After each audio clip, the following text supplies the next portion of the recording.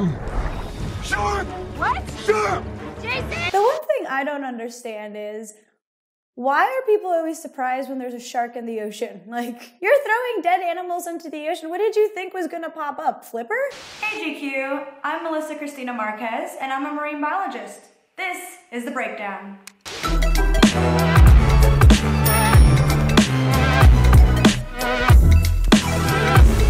First up, Jaws. So Jaws is probably one of my favorite shark movies, hands down. While it didn't inspire me to become a shark scientist, it definitely piqued my interest in what these animals were all about.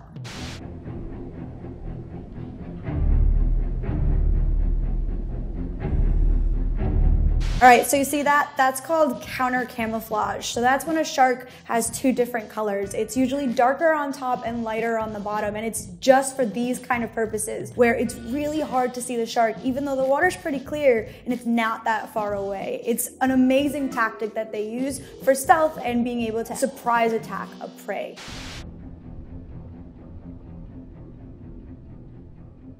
If you look at a shark from above and you're looking down, the darker skin color actually blends into the ocean water and the ocean ground. Whereas if you're looking up at a shark from when you're beneath it, the white belly actually kind of looks like sunlight trickling down.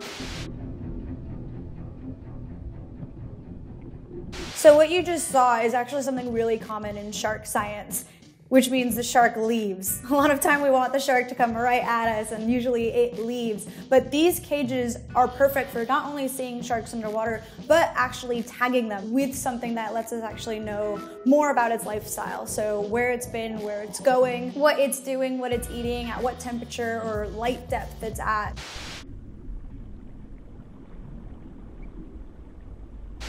So a lot of times we actually have a similar pole to what you saw here with kind of like a dart at the end of it. And at that dart, we actually attach a tag to it and embed it in what's that dorsal fin, so that top fin for the shark. Uh, you try to embed it in there because that's probably one of the toughest areas to get rid of a tag. So it doesn't hurt the shark. Uh, it kind of feels like a bit of a pinch. Very similar to what you saw. You kind of hold on to the edges of the bar, kind of wait for the shark to come by, and you kind of just stab at the shark and hope it sticks. Otherwise, that's thousands of dollars that have just sunk to the bottom of the ocean.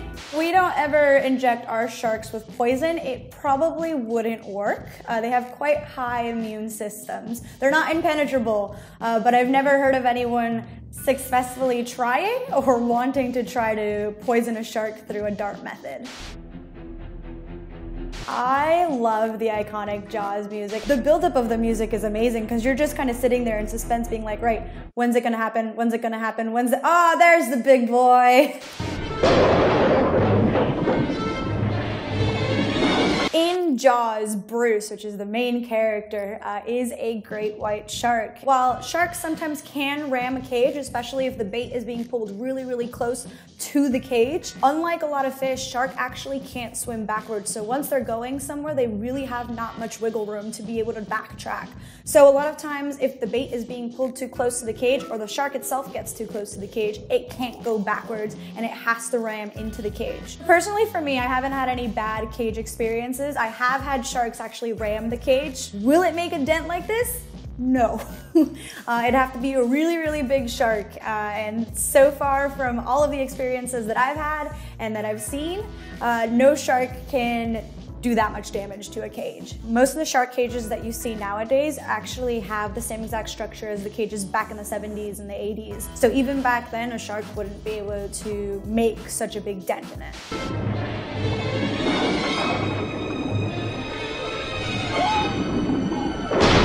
So that is probably one of my favorite parts of the entire movie, just because you can see how fake Bruce looks. Um, but I mean, it wasn't bad for way back when when they kind of made all the animatronics for this.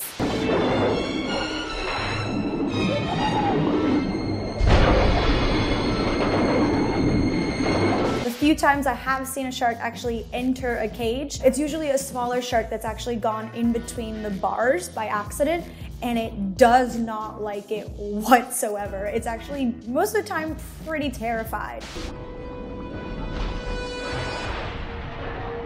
The ending of this clip is actually real sharks on top of a shark diving cage. It does happen. They usually do freak out. And as you can kind of see, there's a lot of thrashing as they're trying to get back into their natural environment, back into the ocean.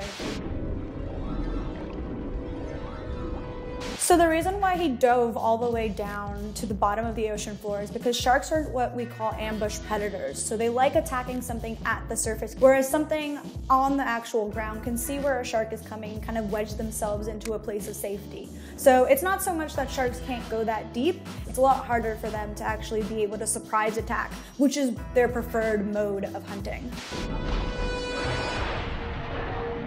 Jaws actually helped kind of have a catalyst of not only people who were interested in sharks, but also people who were absolutely terrified of sharks. The author, Peter Benchley, actually regrets writing it and spent a lot of his time doing ocean conservation and trying to right the wrong of making sharks not be as vilified. But unfortunately, a lot of people still do cite this movie as one reason as to why they are so afraid of sharks and the ocean. Next up, we've got The Meg.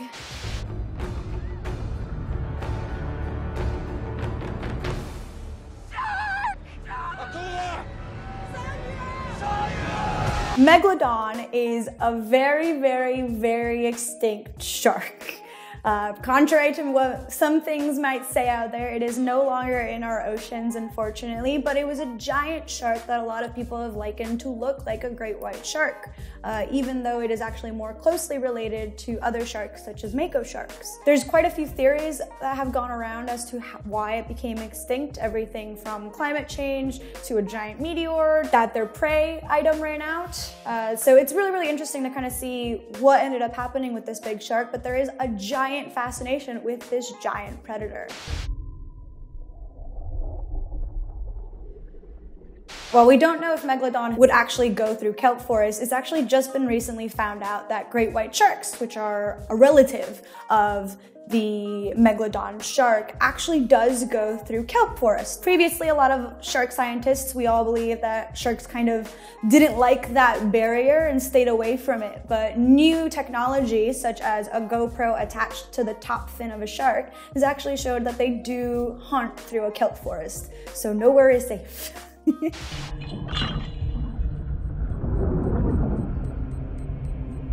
oh, thousands of dollars right to the ground.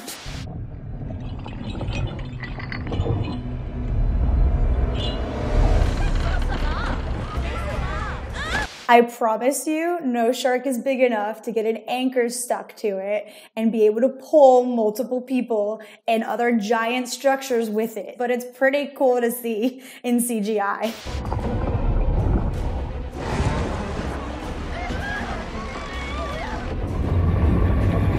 If an anchor got stuck on a shark, this shark would probably die. At least nowadays, unless it was like a whale shark or something, which is one of the bigger sharks that are out there now.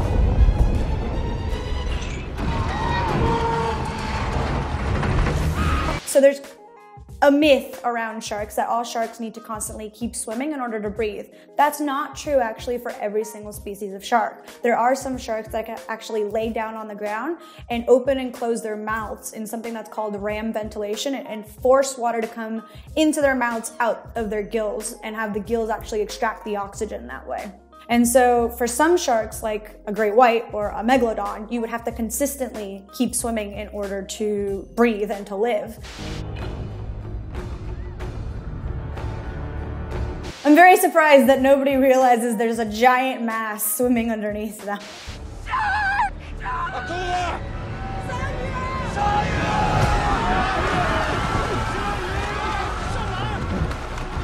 So this is what you don't want to do when someone screams shark, and that's splash about and cause a lot of chaos. One of the big rules that we have in order to swim safely in the ocean is to always swim with a buddy. And so you want to have a buddy with you to be able to look around, make sure, you know, if there is a shark, keep an eye on it. But you also want to make sure that you don't cause more attention on yourself. And that means a lot of splashing at the top, a lot of erratic swimming, because that to a shark actually sounds like something that a wounded fish or a wounded animal would actually do. So if you're trying to get away from a shark, try to have control of your swimming. And always remember, it's not the shark that you see that's sometimes the problems, it's sometimes the one you don't see. How did they lose such a big shark? There you go. So in modern history, the largest shark that has ever been recorded is probably a whale shark. They get up to 40 feet long or about like 12 meters. Would a shark ever approach that many people? Depends on how timid the shark is. There are some species of sharks that are quite shy. For example, hammerhead sharks don't like bubbles that scuba divers give off. And you usually have to like hold your breath or be on something that's called a rebreather that doesn't put out bubbles in order to swim with hammerhead sharks. But I don't think a shark would actually go around and be around that many people unless it knew that there was food around and it was really, really hungry.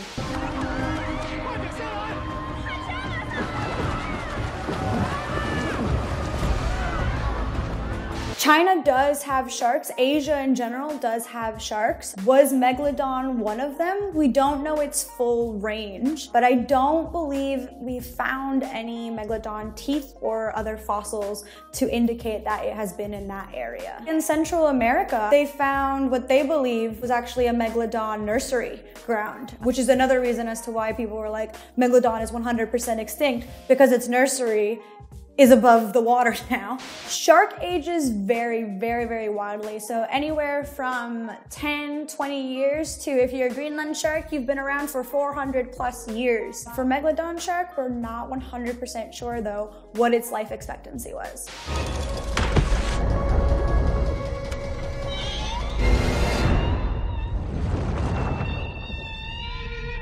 What we've just seen with them lowering the machine and the, I'm assuming it kind of looks like a hydrophone, which emits like the dolphin noise and the whale noise. That's not something that happens. I've never heard of anyone using that as a shark repellent or as a shark deterrent. Dolphins and whales actually eat the same exact stuff as sharks. So if those animals are around, usually a shark's around too. There have been reports of dolphins and whales headbutting and driving away sharks, but don't always count on it. Next up, we've got Lara Croft, Tomb Raider, Cradle of Life. That was very quick. All right, so what she just did is cut herself in order to attract a shark to come closer to her. Usually it doesn't happen this instantaneously, and to be honest, if you cut yourself in real life, chances of you attracting a shark are actually very, very slim. You have a bigger chance of probably contracting an infection in the water than you are of attracting a shark. But anything from a minute amount might be able to kind of pick up their senses and perk their senses and be like, oh, something's bleeding. I should probably go check it out and eat it.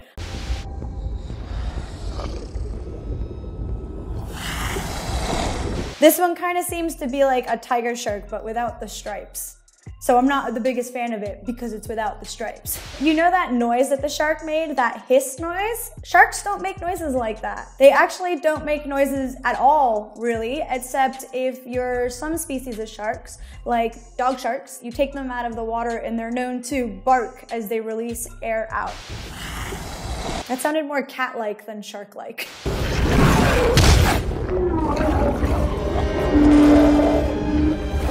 Yeah, that's a great way of deterring a shark. But have you ever tried punching something underwater before? You're usually quite slow. There's a bit of drag, whereas sharks, they're literally built to not have drag. They're covered in something that's called dermal denticles, and it actually kind of makes them quite hydrodynamic. I probably wouldn't punch a shark in the snout just because your hand might actually end up down its throat. Instead, try to aim for the eyes or even better, aim for those gill slits on the side. That's where it breathes. Basically, it's almost as if you were sucker punching someone in the lungs. It's gonna take their breath away. They're not gonna like it. They're probably gonna go away. The shark teeth aren't exactly the best. Um, it doesn't look completely realistic, especially how the, the shark kind of like almost yawns in a way. After Laura has punched it in the mouth and it kind of shakes its head and goes away. Yeah, Sharks will shake their head and kind of go away, but the whole yawning bit isn't as often seen in sharks. Some species, yeah. Tiger sharks, not as much.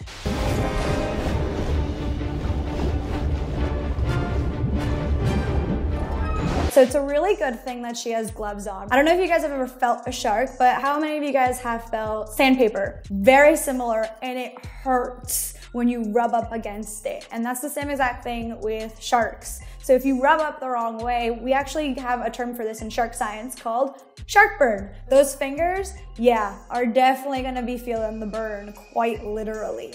Also, don't do this. Please don't ride sharks. It's so, so bad for them. Not only are you stressing the animal out, but it could turn around and bite you, and that's not good for you.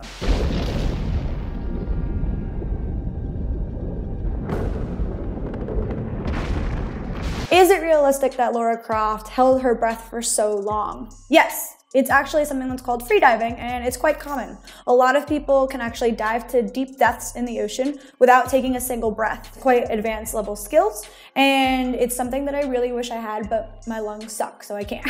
One of the things that I love personally about tiger sharks, on top of everything else, because they're my favorite shark, is the nickname that they have of trash cans of the sea.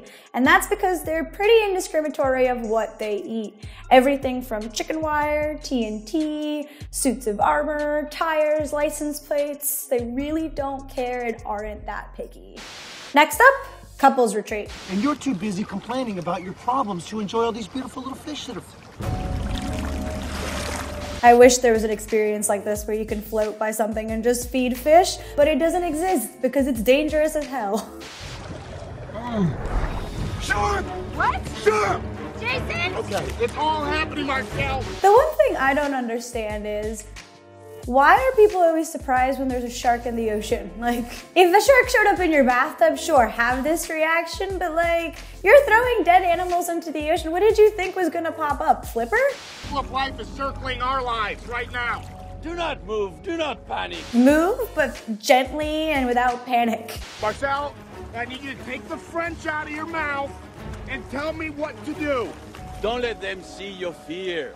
Don't let him see your fear. That's very good advice because sharks can actually detect your heart rate going up. So do try to stay calm. Don't worry, these are only lemon sharks. This is all part of the course. So supposedly these are lemon sharks, but they don't look like lemon sharks to me. It actually looks more like some sort of reef shark. The size of the shark for those smaller reef sharks is pretty accurate, if not maybe a little bit on the smaller size. Don't do that. Don't don't spill chum on your mate. Don't do that. For those who don't know, chumming essentially is what we kind of just saw of just having a bucket full of blood, fish guts and oil and bits of fish that you kind of like take out one by one and kind of get it in a nice soupy mixture to attract sharks to come closer to you. It's not something that we tell people to do, but also scientists do use it for scientific research purposes, such as tagging a shark or doing a fin ID. What he should probably do is get out of the blood. Let's get out of the champ, but slowly. Swim slowly out the champ, slowly. That is very good. I like him. I like this French dude. He is giving good advice. Get out of the chum slowly. Don't panic. They're torturing me. They're playing with me. They're slow playing me. Shoot up! Slowly. That is not staying calm. That's panicking. Swim slowly out the champ, slowly. Yeah, yeah. The stop and start tactic, I don't really know if it would help or hurt. Because if the shark wants to go at you, it doesn't matter if you stop. It's gonna know you're there. It's not gonna be like, oh, it stopped moving. I don't know where it went all of a sudden. Like, it knows you're there. Go to shore. It's too late. They've got me. It's only a matter of time. There's no no sharks around you, honey. If you notice in that last bit where he's kind of far away from the sharks, all of them are just in that one bucket. And that's all that they were really curious about was the blood. Would that happen in real life? Possibly. Word of advice is just don't have a bucket of chum slammed on top of you because you don't want to take any chances. Next up, we've got 47 meters down, uncaged.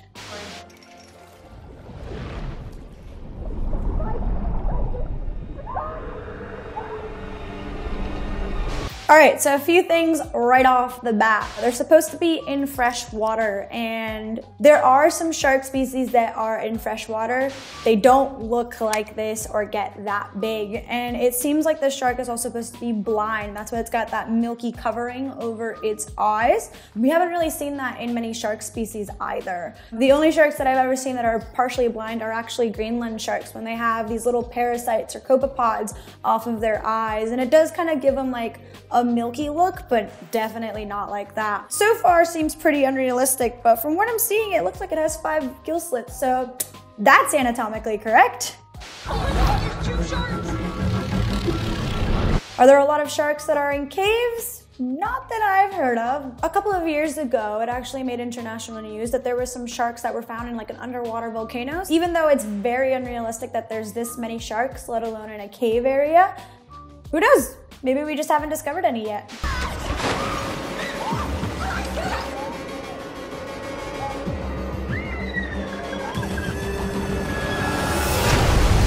The shark doesn't really look like any shark to me. it seems like someone took a bunch of like different pieces of sharks and made it into this like zombie looking shark. It almost looks like a mako or a porbeagle shark, but that's just like their little face and their body feature looks like that.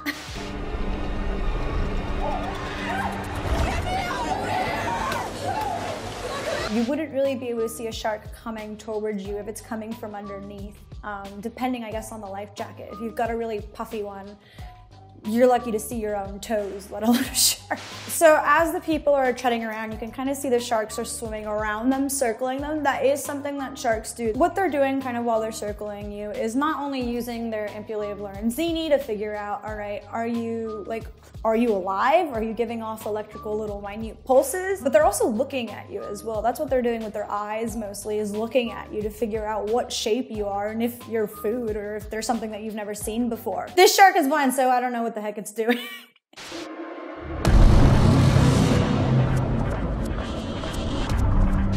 seen any research being done on what attracts a shark more in regards to noise. Is it more at the surface or more underwater? But I would think at the surface is just because you have that splashing noise that can kind of travel farther, I think, than say underwater you don't have as much. And usually when you've got some sort of injured animal, they do kind of float up to the surface. However, because she slammed down, that noise probably did attract them to the source of it. They saw her or sensed her there with their superpower blind shark powers.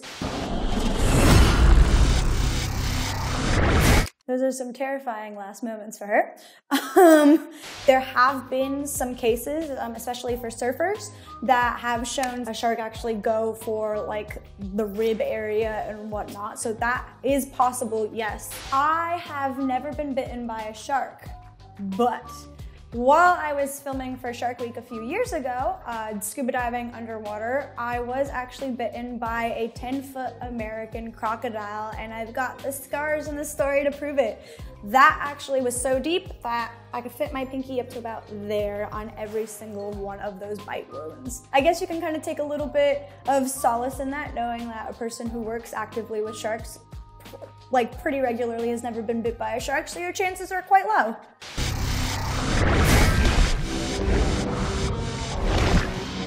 Will two sharks fight over a person and then tear them in half like that? Probably not. Very unrealistic. Usually there's kind of like a hierarchy for sharks when it comes to feeding. Oftentimes, if one is kind of nibbling, the others kind of stand back until it's engorged itself and then they go in in that hierarchical order. They respect their elders and their big sharks. Next up, we've got Deep Blue Sea.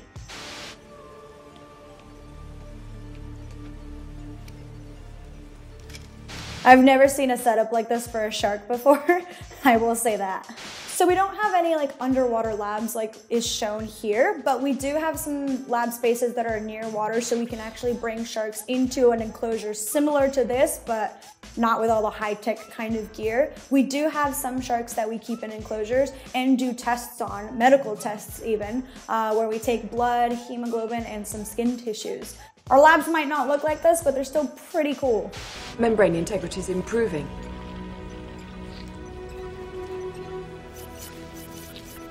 They're firing! They're firing! If anything's gonna be the most unrealistic part of this movie, it's gonna be that, is scientific results coming out that quickly. Yes, sharks are actually used in for medical purposes. Um, not so much Alzheimer's to my knowledge, but in other ways, they're more predominantly used. It's called bioinspiration, using things that we find in nature in other parts of our life. For example, shark skin has actually inspired not only swimsuits that were banned in the Olympics, but also the design of airplane wings. So medically, there is quite a lot out there that sharks are starting to help with, especially because a lot of people are curious as to how their immune system holds up and how powerful the immune system can be. Introducing two cc's of the protein complex. So while this scene does show sharks, it's not all about shark science. It's mostly about the medical side and what they can use sharks for. Uh, but that's actually not everything that shark scientists can do. We have kind of our own different paths of, or niches, if you will, of expertise. And so for me, completely different from this. I actually look at habitat use of sharks. So figuring out why sharks are where they are using technology such as drones or something that is called BRUVs, baited remote underwater video cameras. Essentially, it's like a GoPro with a little treat bag at the end to entice the shark to come a little bit closer so I can get a look at it, ID it, and figure out if that habitat has any significance, such as a nursery. They're firing! They're firing! Shark brains are really hard to come by because you need dead sharks for that. Even though it's not my expertise, there are some people who are out there studying these brains, but it's such a complex organ. We barely understand our brain. It's really hard to wrap our minds around another animal's very complex brain.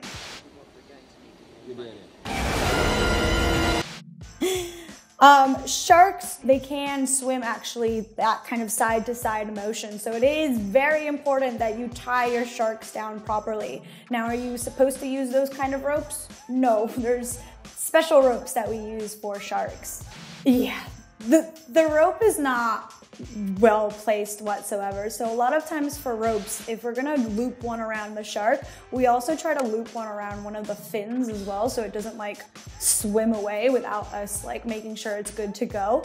So the rope job here is quite bad. But sometimes we actually put covers over the eyes so it doesn't freak out. You actually do this with quite a lot of wild animals. Uh, so I'm a bit surprised that they didn't have it on here, but also not that surprised because it's a movie. That the guy is in the water with him and the shark isn't actually doing anything to the guy can be a bit normal, uh, just because maybe it's out of the shark's vision. It doesn't really care that much about it, but because that one guy was in front of his vision, that's why I kind of went around and went chomp because it's like, oh, I see you. I'm unhappy. I'm gonna take it out on you. Yes, it does look like a Mako shark. Congratulations. It even got the teeth right because the teeth, they almost look like needles and they're pointed backwards because they eat a lot of slippery fish. And so the teeth pointed backwards help it not move around as much. So good job, people. Do you see how there's multiple rows? That is accurate. Quite a lot of shark species do have those rows of teeth that when one tooth in the front falls off, another one kind of is like a conveyor belt. It comes forward and takes its place. I think on average it's like 30,000 though, uh, teeth in a lifetime, which is a lot. They don't get this big as you can see. It seems like it's a pretty big enclosure that it's in. And compared to the man that you kind of see on the edge that was in the water with this shark, that's just not possible. Sharks are pretty smart as they as they kind of are. They've been around for millions of years, uh, but as we've kind of said, their brains are something that we're just beginning to understand. So trying to kind of equate smartness to a shark is really hard to do, but we know they're really excellent predators and what they've been doing for a while has worked. I don't know if making them smarter would make them more aggressive. I think it might make them more cunning hunters though, and might make them have a little bit of a temper and be fed up with people poking them. Next up, we've got Ace Ventura, Pet Detective. That is not usually an outfit we marine biologists wear when we go to feed our pet sharks. I've got a little snack for you.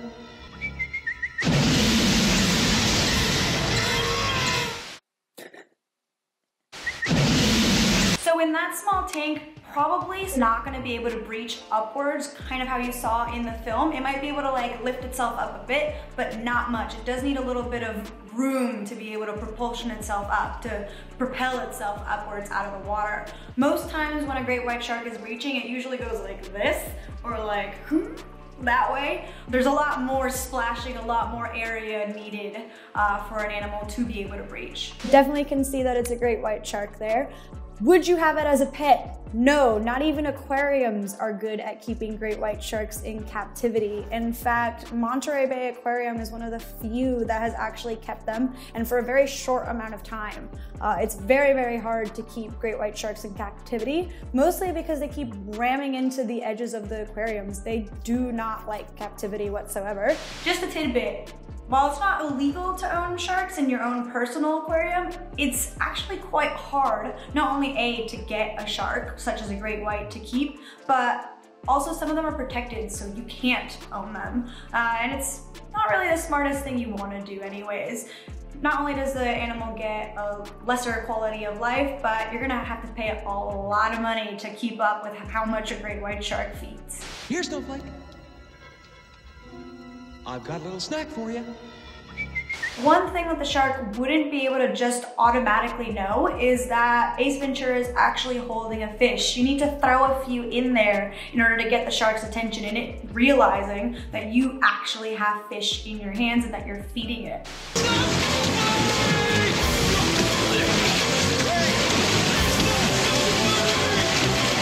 No, the way that you see Ace Ventura kind of flailing about and being held in the jaws of this great white shark, there is no way he would be able to walk away without any injuries whatsoever. Very, very unlikely that would happen and probably impossible.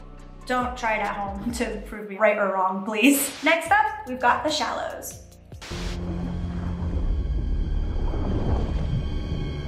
So I will give props to the shallows. They have a very realistic looking great white shark. There is no denying it. I'm tired of seeing sharks that look more like dolphins or as someone has like Frankenstein picked and put sharks together and made it look like some brand new species that I would never want to see in the dark ocean, let alone a dark alley.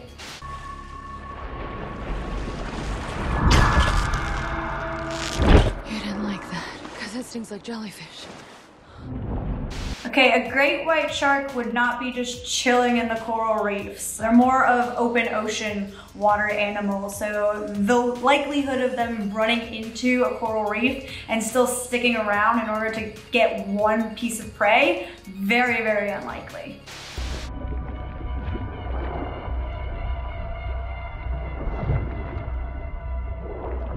You see a lot of jellyfish in this movie, in this specific scene. There can be a lot of jellyfish, so many in one area actually that it's just, I mean, you can't, can't even see water. It's bit gnarly. They don't glow like this either, this like ethereal, angelic thing that's very rare. Some species do glow, um, some of them have like little rainbow tendrils, which is really cool that they can glow, but like that, no.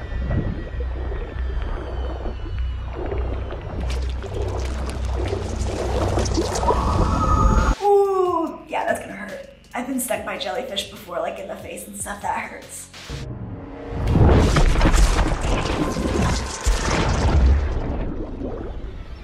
Okay, so what you see here, the shark kind of like swimming away from the jellyfish, it hasn't been like scientifically tested or anything, but I can tell you that sharks don't care about jellyfish. If they really want something, they will swim through the jellyfish to get to it. They've got pretty tough skin made out of dermal denticles, which actually translates to tiny teeth. It helps reduce pain as well as like drag. As you can see, it's doing more pain and damage to her than it is the shark. Great white sharks, believe it or not, do not like orcas. Orcas are a big time predator for great white sharks. Usually the orcas actually target the shark's liver and sometimes it's claspers, which are the male reproductive organs for great white sharks. Once a great white shark has been bitten by an orca, usually the great white sharks in the surrounding area will leave for a little bit. So become best friends with an orca, call out for them when a great white shark is nearby and who knows, maybe they might help you out.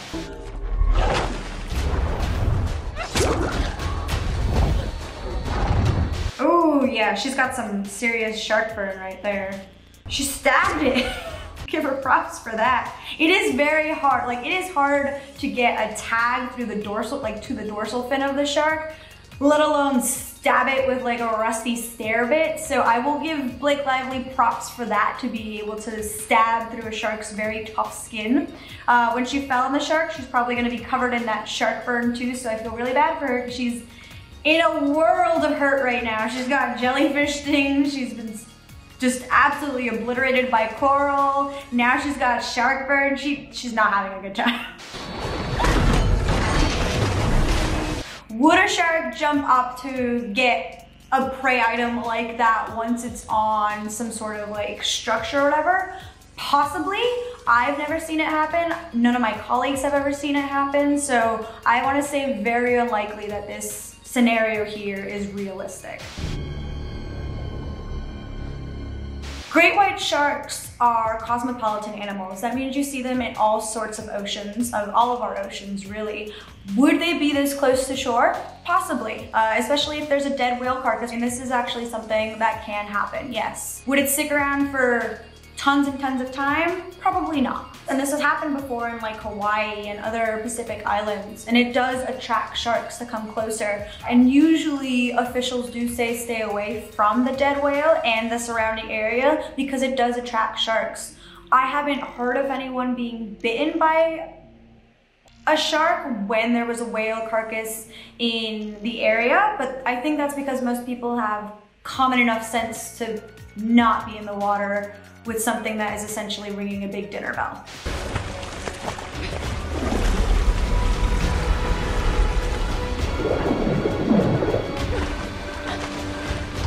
Sharks are definitely not vindictive as it has been portrayed in this movie. Um, they don't hold a grudge, promise.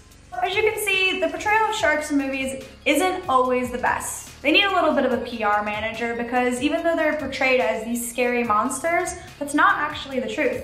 You don't have to worry about an ocean filled with sharks. Instead, you should be worried about an ocean without them. Thanks so much for watching these clips with me. I'll see you next time.